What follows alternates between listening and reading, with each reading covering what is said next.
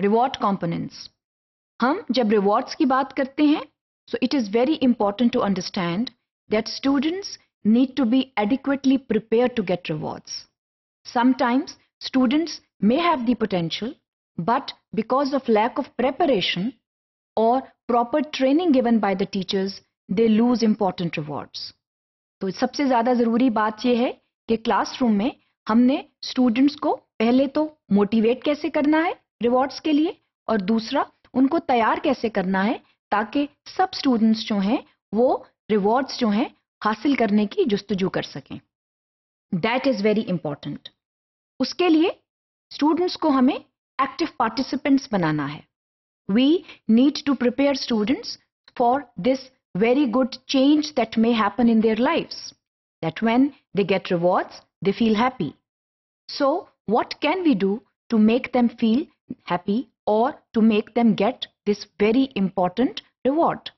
उसके लिए ज़रूरी है कि स्टूडेंट्स को हम जो है वो प्रॉपर तरीके से ट्रेन करें और उसमें जो हम बेहतरीन काम कर सकते हैं वो ये है कि हम स्टूडेंट्स को ऑटोनमस लर्नर्स बनाएँ हम स्टूडेंट्स को जो है वो इंडिपेंडेंट लर्नर्स बनाएँ ये दो जो हैं, ये बहुत इंपॉर्टेंट कंपोनेंट्स हैं towards teaching students not only independence but also teaching students how to act by first thinking on their own इससे एक बहुत ज़रूरी बात ये निकलती है कि students they get positive beliefs they not only get positive beliefs they also develop good positive self-efficacy about themselves. And that helps them to get awards. तो ये जो है, ये बहुत ज़रूरी अमल है कि हम स्टूडेंट्स को एक्टिव पार्टिसिपेंट्स बनाएँ, उनको जो है वो इस चीज़ का एहसास दिलाएँ कि वो जो है सब के सब रिवॉर्ड्स हासिल कर सकते हैं। ये कहना क्लास में गलत होता है कि ये चंद तालब इल्म हैं जो रिवॉर्ड डिजर्व करते हैं और ये जो तालब इल्म हैं, ये जो हैं किसी सूरत में रिवॉर्ड डिजर्व नहीं करते। हम इस बारे में पहले भी बात कर चुके हैं कि हम क्लास में बैठे तमाम तालब इल्म जो हैं उनके लिए जिम्मेदार हैं। We need to act responsibly and we need to act impartially also हम ये नहीं क्लास में कह सकते कि ये वो चंद तालब इल्म हैं जो हकदार हैं किसी इनाम के और ये तालब इल्म जो हैं वो कभी इनाम हासिल नहीं कर सकते। उसके लिए जो सबसे बड़ी एफर्ट हम कर सकते हैं वो ये है that we teach students autonomy and we make them independent learners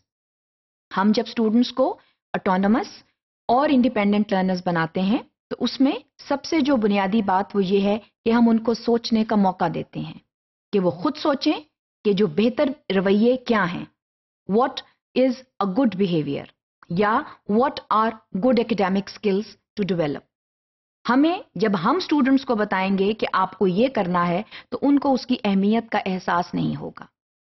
जब वो खुद सोचेंगे और फिर अमल करेंगे तो तब किसी भी बिहेवियर पैटर्न की अहमियत का अंदाज़ा होता है।